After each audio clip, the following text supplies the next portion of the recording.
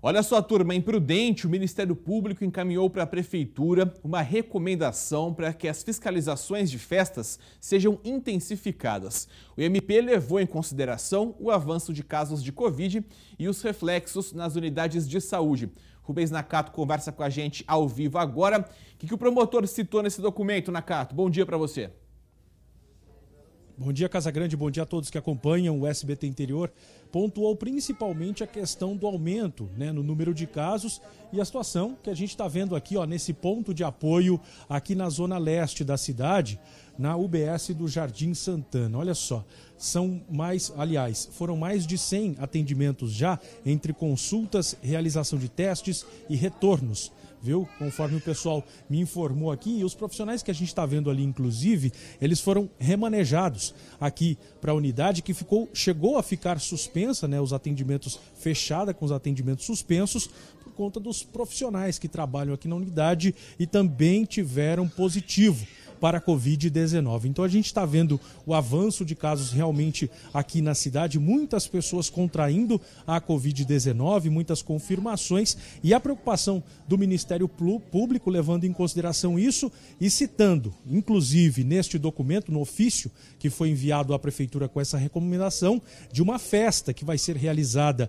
este fim de semana aqui em Presidente Prudente, uma formatura que tem previsão aí de cerca de duas mil pessoas presentes. Então, recomendou à prefeitura que intensifique as fiscalizações para que nesses locais seja cumprido rigorosamente os protocolos sanitários, né, como uso de álcool em gel, máscaras, né, principalmente pena por quem está ali os funcionários é, de buffet e outros profissionais que irão trabalhar nessa festa também, e o controle de acesso né, que há uma recomendação também do governo estadual de no máximo 70% da capacidade de público do estabelecimento.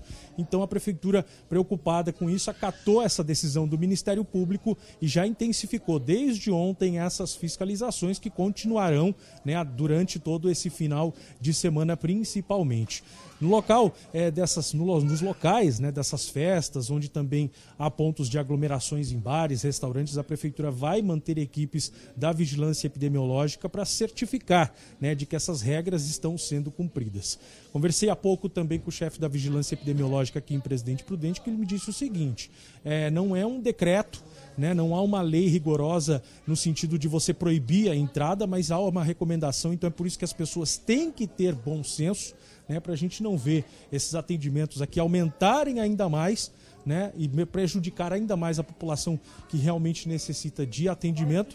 Né? Então é por isso que há toda essa preocupação. E olha, mesmo que seja uma recomendação, a gente sabe que algumas regras, né, protocolos sanitários, devem sim ser cumpridos, isso é previsto em lei. E caso haja descumprimento, ainda de acordo com a prefeitura, há multa nesses casos, viu? E a multa é pesada, ela pode variar aí de 200 reais, mas pode chegar, olha só, a 200 mil reais. Então, por conta disso, né, para não ver esses casos de Covid aumentarem ainda mais, essa recomendação do MP preocupado e a Prefeitura acatando, então, essa recomendação, intensificando as fiscalizações aqui em Presidente Prudente, Casa Grande.